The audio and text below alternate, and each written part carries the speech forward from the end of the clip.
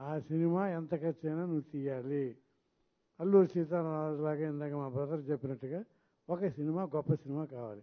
ఏముంది? అంటే ఉయ్యాలవాడు నరసింహారెడ్డి. ఆ కథ. ఆ కథ చెప్పాం చెప్పగానే తనకి నచ్చేసింది. నచ్చిన తర్వాత చిరంజీవి గారికి. ఆయనకి నచ్చింది.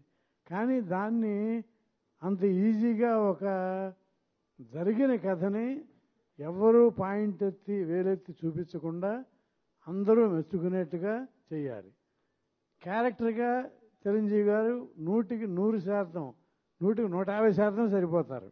ఎందుకంటే ఆయనకి తెలియని విద్య లేదు. అసలు కొన్ని షార్ట్స్లో ఫైట్స్ చేస్తా అంటే మనకే భయం వేస్తుంది. నేను భయపడ్డా కూడా ఓ షూటింగ్లో.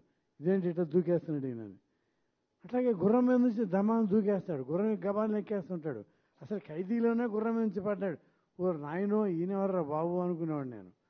సో అలాంటి ఆయన చేత ఈ కథ చేయించాలి. ఉయ్యాలవాడ నరసింహారెడ్డి. ఇది ఎందుకంటే ఓ చారిత్రక సినిమా అనగానే ఇది కేవలం ఏదో ఆంధ్రాకో ఉత్తరాంధ్రాకో ఎక్కడో సమ దక్షిణాంధ్రాకు సంబంధించిన కథ కాదు ఇది. ఒక దేశభక్తుడు ఫస్ట్ టైం భారతీయులను ఎదిరించాడు. ఎవడు ఆ ఎదిరించింది? తెలుగువాడు అని గర్వంగా చెప్పుకోవాలి మనం. గర్వంగా చెప్పుకోవాలంటే ఈ సినిమా తీయాలి. తీయాలంటే తీయాల్సిన వాళ్ళే తీయాలి వేయాల్సిన వాళ్ళే వేయాలి. ఇప్పుడు అది జరిగింది కనుకే ఇంత డిస్కషన్ జరుగుతుంది. చిరంజీవి గారు నేను రోజు మొన్న ఫోన్లో చెప్పా చిరంజీవి గారు నాకేంటో పోస్టర్ చూస్తుంటే రోజు మీరు అందంగా ఎక్కువ కనపడుతున్నారు ఏంటన్నా? అది వాస్తవం. నిజంగా పోస్టర్ చూస్తుంటే అందం గబాలు పెరగదు కదా ఏమన్నా రంగులేస్తారు అక్కడ ఎయిర్ అంటే ఆయన ఇమేజ్ అట్లా పెరుగుతుందేమో ఆ ప్రజల ఆశీస్సులు అట్లా పెరుగుతున్నాయేమో.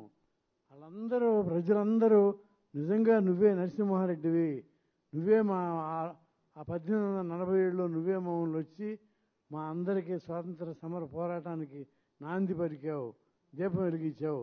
నువ్వే నువ్వే నువ్వే అని చెప్పారేమో. అందుకే ఆయన అంత అందం కనపడుతున్నారేమో అనిపించింది. నేను రోజు సినిమా రిలీజ్ అయిన దగ్గర నుంచి ఫోను. మా మనవరాలు యుఎస్లో ఉంటుంది.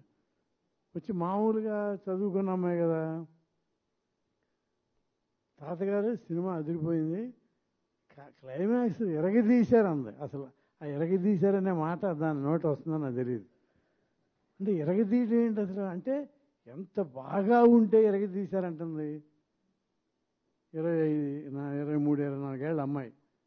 అలా అంది. అంత తర్వాత ఏంటి మిగతా వాళ్ళంతా మిగతా వాళ్ళందరూ చచ్చిపోతున్నారు అసలు ఇక్కడ?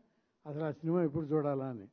అంటే అమెరికా కూడా అంటే ఒక ఇది యాక్చువల్గా భారతదేశం కదా. కానీ అమెరికాలో కూడా మెచ్చుకున్నారంటే అమెరికాలో ఇలాంటి స్వాతంత్ర పోరాట సమర కథలు ఎక్కువ తీస్తారు.